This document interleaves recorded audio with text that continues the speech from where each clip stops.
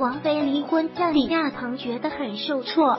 王菲很快就和谢霆锋过上了神仙眷侣般的生活，李亚鹏的感情生活也成为了大家关注的焦点。虽然他也曾多次被拍到过和别的女生在一起，但是他几乎都不会对此做出什么回应，毕竟这都是私生活，没有必要向谁交代。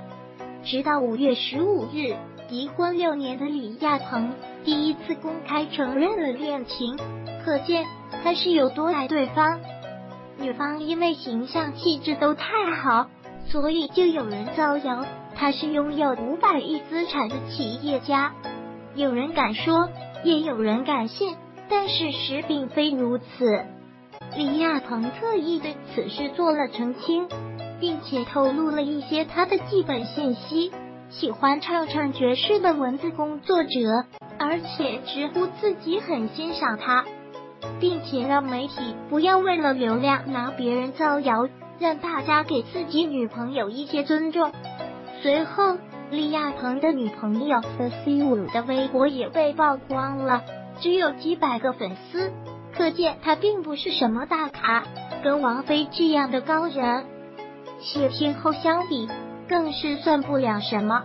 但看得出来，他对爵士是真的热爱。五月十六日，他在李亚鹏承认恋情之后，发布了一条动态，是他和朋友们的合照。从文字描述中也能看出来，他应该是定居在上海，能在上海立足，而且还穿的这么高雅的女人，没有五百亿，也比普通人优秀吧。照片中最边上穿着黑色连衣裙，无时无刻不喜欢在身上挂一件披风，踩着高跟鞋的这位，就是李亚鹏的新女友了。在这几位女士当中，她也绝对是身材最佳、气质最好的一个，颜值不输当红女明星。